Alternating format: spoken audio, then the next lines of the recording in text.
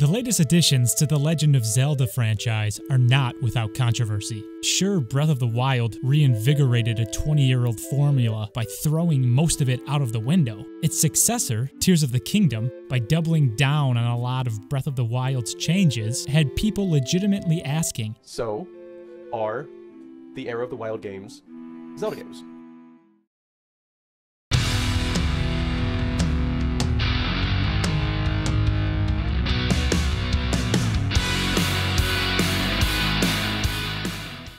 The last video, I laid out what I think are the defining elements of a Zelda game. For those of you suffering from blunt force trauma and can't recall what we discussed, here's the TLDR. Let's see how gameplay stacks up. The first bit of this is undoubtedly true of the era of the Wilds games. There are video essays, monuments, imperial provinces named in honor of the freedom and sense of discovery within these games. But most of that exploration ends in Korok seeds, items from other games, or shrines. As this astute Redditor so keenly notes, most of the game is exploration, and regardless of whether or not you liked the Divine Beasts, although admittedly being able to rearrange them was a clever gimmick, they fall woefully short of what is expected of a puzzle box dungeon. Tears of the Kingdom's dungeons are not much different, just covered in a superficial veneer that makes it seem like they're unique, but at their core, they all fit the Activate 5 terminals bill, hardly an intricate dungeon. And anyone who prefers shrines needs to be psychologically evaluated by a professional. We'll give this half a check because the front end of this element was so developed, much to the detriment of the latter end. Next, this requires little thought. Climbing, the Sheikah Slate abilities, and Rauru's arm abilities, you can traverse Hyrule in almost any way you can imagine. These are innovative mechanics that make the world more interesting to explore. The puzzle solving suffers though, as the necessary tools are at your disposal basically at the game's beginning. Even still, this gets a fat green check. The real sticking point here is there are definitely too many items. Zelda, which usually sets the standard, seems to be borrowing from the survival crafting genre a bit too greedily. Where it counts with armor and weapons, there's the illusion of too many weapons, none of which are all that memorable. And in the case of Tears of the Kingdom's fuse, janky as hell looking. But beyond the Master Sword, even that's got issues, there isn't any weapon that calls back to other games in a non superficial way. And the Zora armor is the only reimagined armor set that serves any exploratory purpose. Red X here. The story is where we get to the meat of things. Here's the issue with modern Zelda there is no hero's journey. This is structurally true in that once Link receives the game's powers on the tutorial island or plateau, he's all he'll ever be. He has the means to solve every puzzle, overcome every traversal challenge, and anything beyond that he can find lying about. This is also narratively true in that once the tutorial is complete, you can fight the final boss. There is no reason to have a journey. Nintendo has made the heart of becoming a hero both front loaded and effectively optional. And if one does choose to make their way through the world, they are now removed from the story. Everything is witnessed secondhand. Their link has been severed. Big L.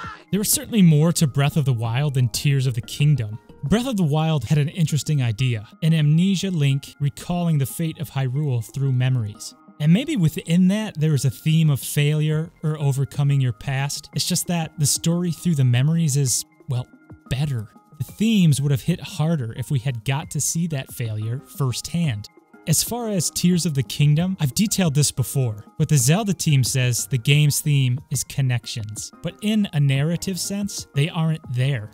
There are no connections. The world has strange incongruities. Memories of NPCs don't even connect to the first game. Even taken as a standalone game, the themes contradict. A case could be made for sacrificing the past for the sake of the future, but the ending undermines that. To be honest, I don't know what the themes of Tears of the Kingdom are. There's no nuance, no maturity, and the supposed themes are dissonant compared to what the developers intended. Things ain't looking good.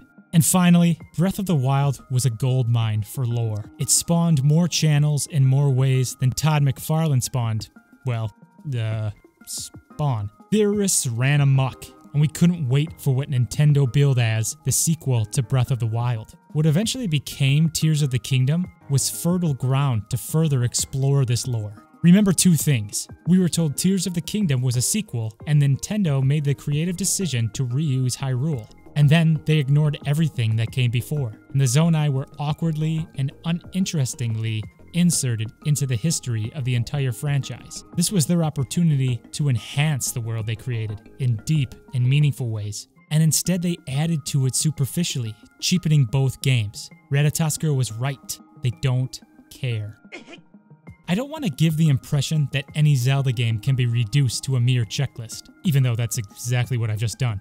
In doing so, my intention was to point out that one and a half of the two foundational aspects of the Zelda franchise have been seriously neglected in the era of the wild. Exploration has usurped the throne and left puzzle box dungeons out in the cold. The design team boiled this down to nostalgia instead of understanding that this gameplay element persisted because it was good. Instead of exploring new iterations faithful to these traditional dungeons, Nintendo has opted to fill this Hyrule with set pieces and items that serve no purpose other than to be recognized. From a narrative perspective, the player doesn't get to engage with the story on any meaningful level. Nintendo has given carte blanche to the Minecraft generation and a handful of speedrunners within this sandbox. To great financial success, I might add, but at the cost of the franchise's narrative lifeblood. Without the sense of progression through a hero's journey, feeling like we are challenged or have triumphed, we start to question is this a Zelda game? Nintendo has crafted this era of the wild so that everyone can have their own experience, but so few are having an impactful one. Bye bye!